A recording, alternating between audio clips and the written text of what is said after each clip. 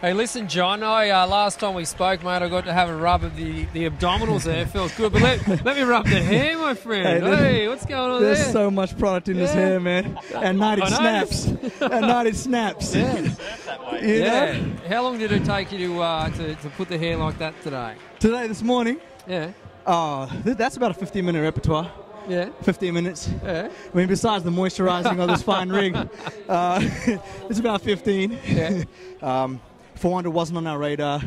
It was basically I had 17 months off since my first race, um, which was last race, which was London Olympics. As everybody knows, I got suspended. So, um, you know, it's it's not easy when you're 31 years of age, taking 17 months off and coming back and trying to hang with these young bucks that are just ready to go, man. I mean, and they showed it today.